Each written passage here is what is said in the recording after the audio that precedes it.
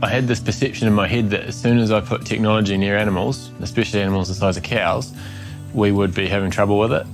We were checking them every single day through mating, and every single collar was reading, and it just works. Normally for pre-mating, for instance, we'd have to watch cows for three weeks and see which ones had cycled and which ones hadn't, so it adds another element of stress. Being able to look back in terms of what's happened over those three weeks without actually doing it gives us a, another chance for a, let's say, break in the loosest sense of the word.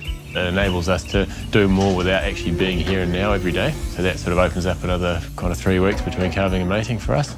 Now it's up and going and we've had some time with it. We're anticipating getting a much better benefit out of our transition springer stuff because our springers come back to the shed and we'll go through the system every day.